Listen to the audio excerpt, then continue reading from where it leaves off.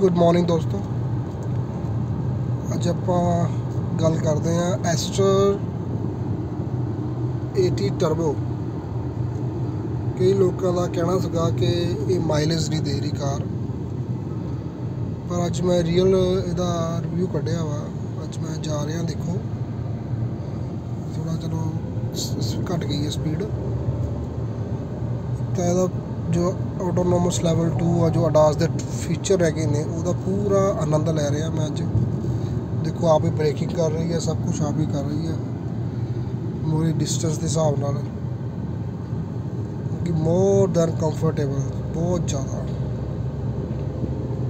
ਦੇਖੋ, ਤੁਸੀਂ mileage check ਕਰ ਸਕਦੇ ਹੋ। ਮੈਂ 90 95 ਤੇ ਆਇਆ ਹਾਂ। ਇਹਦੀ ਮਾਈਲੇਜ ਦੇਖੋ ਤੁਸੀਂ ਕਿੰਨੀ ਦੇ ਰਹੀ ਹੈ ਇਸ ਟਾਈਮ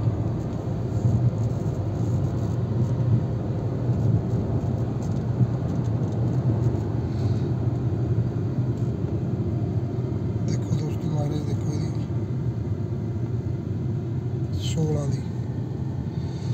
ਜਦ ਕਿ ਇਹ ਟੌਕ ਕਨਵਰਟਰ ਹੈ ਨਾਰਮਲ CVT ਨਹੀਂ ਜੀ 80 ਟਰਬੋ 80 ਟਰਬੋ ਦੇ ਹੀ ਇੰਨੀ ਮਾਈਲੇਜ ਦੇ ਰਹੀ ਆ। ਅਗਰ ਤੁਸੀਂ ਕਰੂਜ਼ ਲਾਇਆ ਮੈਂ 90 95 ਤੇ ਚੱਲ ਰਹੀ ਹੈ ਕਾਰ ਹਾਈਵੇ ਤੇ।